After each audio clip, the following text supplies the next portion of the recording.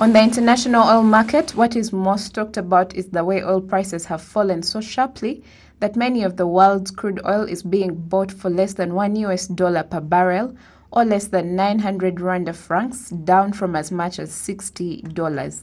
Finding buyers for that oil is also not easy due to the effects of the coronavirus pandemic. Professor Gustav Tombola, an economic expert, says that the shocking fall in oil prices does not necessarily mean the prices of other commodities will also reduce. inganda ntabwo ziri gukora inganda ku buryo zitari gukora igihe zizakorera Factories are not working, and when they start working, there will be high demand for their commodities and prices will go up because then they will need them. So, we will not think that because oil has reduced prices, it will reduce prices in the market.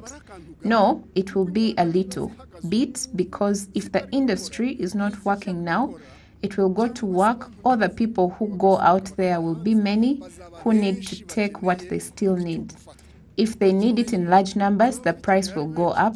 It will not be due to oil alone. biterwa na peteroli yonyine According to Rura, by the end of April, it will be up to the parties to decide on the price of petroleum products to meet the price changes.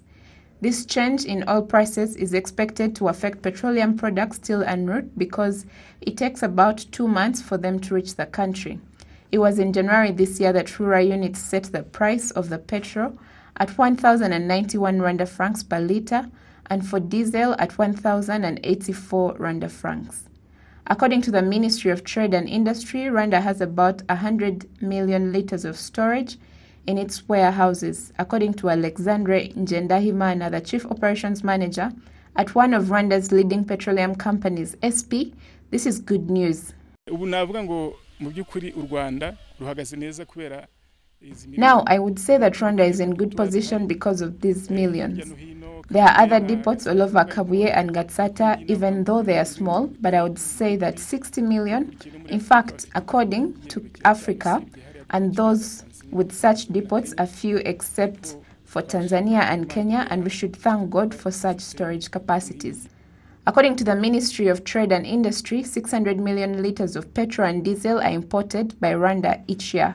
But since the outbreak of the COVID 19 pandemic, the country's demand for such products has fallen by 51%. With a storage capacity of 110 million liters, the country uses up 100 million liters in four months. 60% of the storing capabilities oil producing and exporting countries have now been used due to the sudden fall in global demand.